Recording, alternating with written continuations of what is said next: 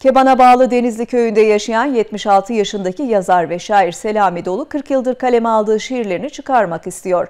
Emekli maaşıyla bunun mümkün olmadığını ifade eden Selami Dolu kendisine sponsor olacak hayırseverlere seslendi.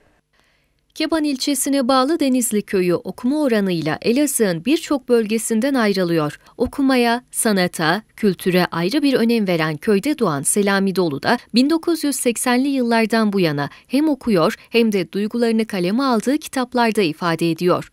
Genelde şiir üzerine, şimdi aşk üzerine aşık olduğum için aşk üzerinde yazıyorum.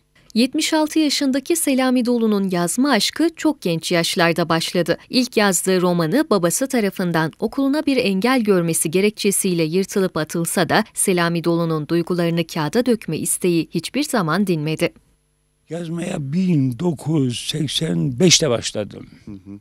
Şiir yazarak. Evet şiir yaz. Daha evvel gençliğimde roman yazmıştım. Hı hı. E, askere gitmeden evvel babam romanı yırttı. Niye? Hı hı. Oğlum dedi sen bunun yüzüne okumadın ortaokulu bittim. Liseye gidecektim. Çocukken romanlar okuyordunuz. Roman okuyordum ve roman yazdım. Çift kafadarlar, kanunsuzlar, e, kanunsuzlar, e, çift kafadarlar ve kanunsuzlar diye. Yırttı babam. Ha, evet.